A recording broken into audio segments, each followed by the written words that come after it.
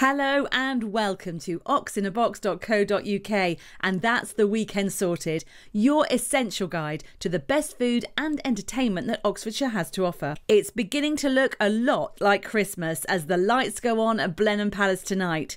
Read more at oxinabox.co.uk. Check out our review of the stunning, sexy, and sassy Six at the Oxford Playhouse on until Saturday. Puss in Boots continues at Chipping Norton Theatre, and Mark Thomas is also there, as well as in Banbury and at the Pegasus. Such a treat for Oxfordshire.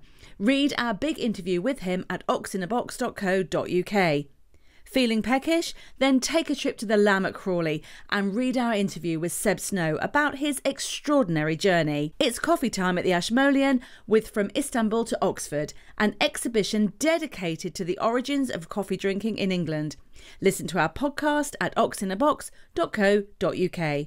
At Woodstock's Danzig Gallery, there is Cool Britannia, a celebration of post war British art until Tuesday. At the Old Fire Station on Monday, it's Monologue Night, and there is the Become an Icon event on Saturday. The Welsh National Opera continues at the New Theatre until next Thursday, and Jane Eyre is at the Cornerstone tomorrow and on Saturday. Classical now, and the popular Japanese virtuoso Maki Sekiya returns to the OSJ to perform Rachmaninoff's Piano Concerto No. 2 at Dorchester Abbey on Saturday. Read our review of Spiced Roots at oxinabox.co.uk, and Blackwell's has its fundraising evening tonight from 5 till 8. Three authors will give short talks throughout the evening. At the Burton Taylor, there are three productions, including Radiant Vermin and Beard.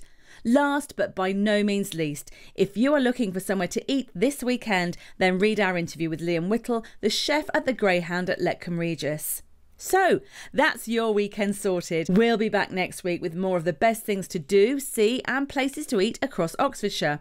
If you can't wait until next Thursday, then check out oxinabox.co.uk for regular updates and fresh daily content.